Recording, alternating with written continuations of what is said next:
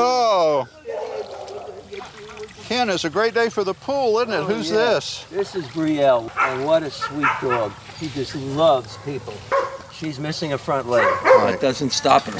So just took her for her first walk. She met somebody else who just rolled over on her belly and said, please scratch my belly. Aw. And it seems like she just loves everybody. She really surprised me today, running around. Last time I walked her, she, you know, looked like she was barely walking, and all of a sudden she gets in here and she takes off.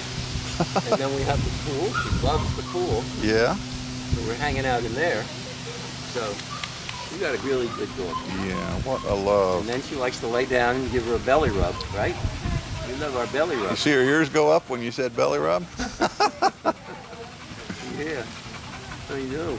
You want to come up here and go on my lap, don't you?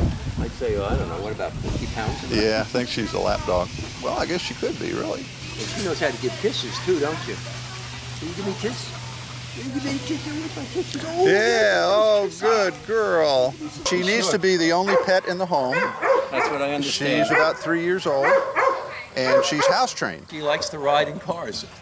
That's right, absolutely. Loves to go for rides. Yeah. Even when I took her out for the first time out of her out of her run in a brand new setting, usually most dogs take a week to settle in or something. She's fine.